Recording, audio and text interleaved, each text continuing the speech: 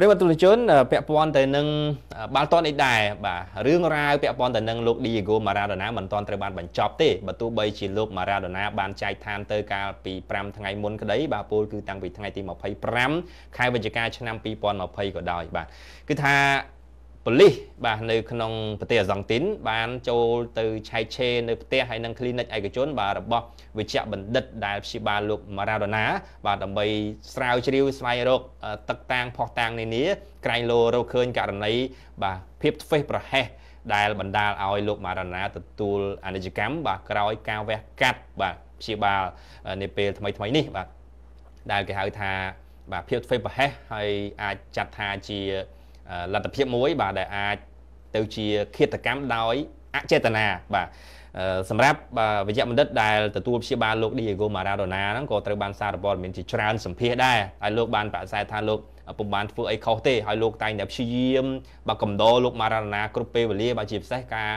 លើកទឹកចិត្តដល់លោក Maradona ដែលពេលខ្លះទៅសំបីតែចេញទៅមើលគេលេងបាល់ចេញទៅទាត់បានក៏អត់ចង់ទៅដែរដូចថា ប្រែប្រួលខ្លាំងមែនទែនបាទរាងកាយរបស់លោក Diego Maradona ហើយនឹងផ្នត់គំនិតរបស់គាត់ដូចថាវក់អីញៀនទៅនឹងអកលទៅនឹងស្រាអញ្ចឹងទៅធ្វើឲ្យអារម្មណ៍របស់លោកហ្នឹងគឺចង់តែសបាយបែបមិនល្អសម្រាប់សុខភាពបាទបាទសូមបញ្ជាក់ថាលោកម៉ារ៉ាដូណាបានទទួលមរណភាពក្នុងវ័យ60ឆ្នាំបាទក្នុងវ័យ60ឆ្នាំហើយនៅក្នុងប្រទេសអាសង់ទីនបន្ទាប់ពីមរណភាពរបស់លោកនោះគឺបានបាទ ប្រកាសកាន់ទុក3ថ្ងៃហើយសពរបស់លោកនឹងត្រូវបានតម្កល់នៅវិមានរដ្ឋាភិបាលរបស់ប្រទេសអាសង់ទីនតែម្ដងព្រោះថា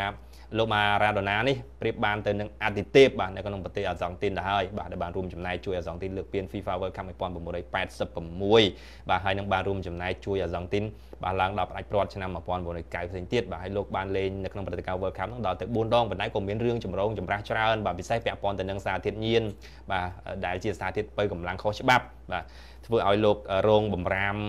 ច្រើនខែហើយ អខានការប្រកួតជាច្រើនរបួសផងអីផងបាទញៀនស្រាផងអីផងធ្លាប់ញៀនថ្នាំផងអីផងដោយសារតែជីវិតរបស់លោកគេហៅថាផ្លាស់ប្ដូរក្លាប់ចាក់ដូចមេឃនឹងដី180ដឺក្រេពីក្មេងក្រីក្រម្នាក់នៅក្នុងតំបន់ក្រីក្រក្នុងជាយក្រុង Buenos Aires ក្នុងប្រទេសអាសង់ទីនខ្លាយទៅជា superstar ខ្លាយទៅជាតារាល្បីអាទិទេពដែលគ្រប់គ្នាស្រឡាញ់គ្រប់គ្នាតាម បាទចង់ថតរូបចង់ដើរជាមួយហើយ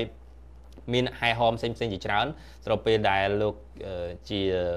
មនុស្សប្រភេទទំយើផងបាទក្លឹបក៏លើកដំកើងខ្លាំងទៀតទៅបាទកាលនៅណាប៉ូលីនៅក្នុងប្រទេសអ៊ីតាលីដែលសបោទៅដោយបាទក្រុមអន្តពាលក្រុមម៉ាហ្វៀក្រុមអីច្រើនផងបាទលោកក៏ឆ្លក់វែងបាទលងលើយចូលជាមួយទៅបាទខ្លាយទៅជារឿងដែលមិនល្អសម្រាប់លោកហើយក៏មានអធិគុណលោកច្រើនដែរប៉ុន្តែលោកក៏នៅតែរក្សាបាទ ភាពល្បីល្បាញក៏ដូចជាកិត្តិយសដែលត្រូវបានឲ្យតម្លៃយ៉ាងខ្លាំងនៅក្នុងពិភពបាល់ទាត់នេះបាទយ៉ាងណាក៏ដោយបាទលោកវិជ្ជបណ្ឌិតដែលបានព្យាបាលលោកម៉ារ៉ាដូណាបាទគឺលោកបានបដិសេធថាពុំបានធ្វើអីខុសទេបាទលោក Leopoldo Luque បាទ